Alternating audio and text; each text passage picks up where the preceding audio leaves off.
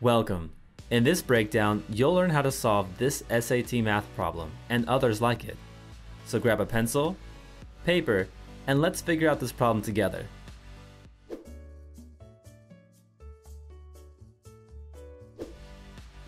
For the function g defined above, a is a constant, and g4 equals 8. What is the value of g negative 4? Now that we've read the problem, let's make a note of the key information they presented. First up, that equation, gx equals ax squared plus 24. Whenever you see an equation, you definitely want to write it down. We're probably going to have to use it to solve the problem. Next, they tell us that a is a constant. All that means is that a is just a number. And lastly, g4 equals 8. Huh. Let's figure out what we need to do with all this information.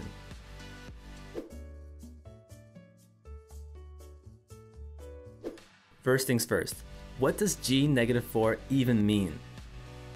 By itself, nothing actually.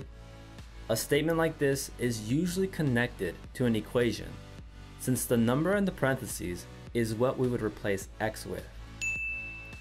In this problem, the equation that g negative 4 is connected to is gx equals ax squared plus 24. So g negative 4 actually means a negative 4 squared plus 24. Therefore, the goal with this kind of problem is to end up with g negative 4 equaling a number. However, we're missing a key piece of information, and that's a.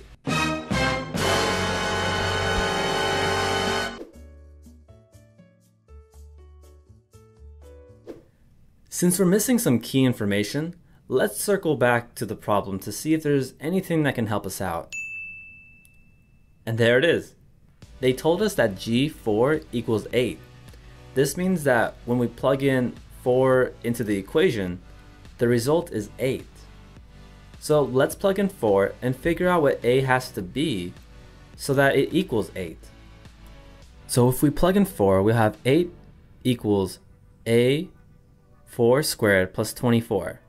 So let's go ahead and square the 4. That's going to give us 16. So now we have a times 16 plus 24 equals 8.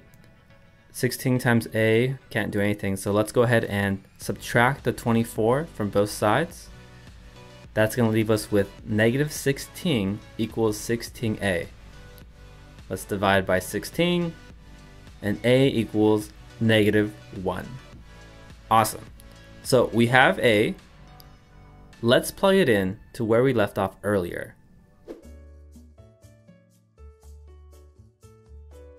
So now we're going to replace a with negative 1 and combine them all. So we have g negative 4 equals negative 1 times negative 4 squared plus 24. Let's start off by squaring negative 4. That's going to give us 16. From there we're going to multiply the negative 1 to give us negative 16 plus 24. Now this looks a little confusing, so let's figure this out by putting 24 over negative 16 and combining them the old school way. From there we get 8, so g negative 4 equals 8. And that's it. Great job putting the work in. Now that you know how to solve today's problem, try your new skills on this one. I've left the answer in the description below. Like this video to let me know that I helped you out, and keep prepping for your SAT with the rest of my breakdowns. Later!